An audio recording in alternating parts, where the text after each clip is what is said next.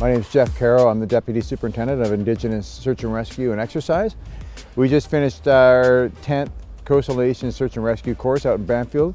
Uh, on this last course we had First Nations from five different uh, communities along the coast, everywhere from the Nisga'a Nation down to Ahousaht. We trained them here in Victoria. We took them to the Joint Rescue Coordination Center. We toured them around some of the SAR ships that Coast Guard has. We took them to Coast Guard Radio just to give them an overview of the federal SAR system and how it all works.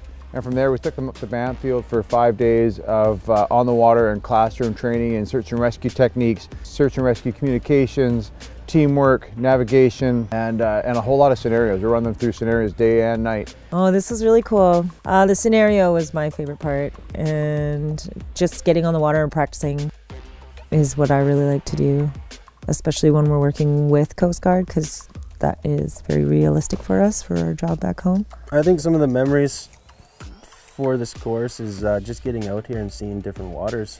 Um, you get used to your traditional area, uh, landmarks, tides, knowing when something's going to happen. Uh, you get out here and you kind of get a little bit more of a challenge. And like you said, running a boat and actually getting out there and see that, seeing that we can uh, actually perform.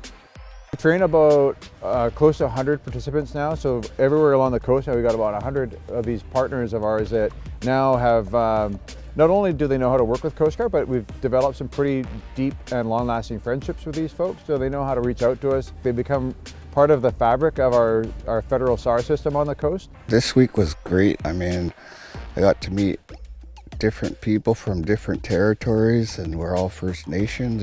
It's just like my family got bigger.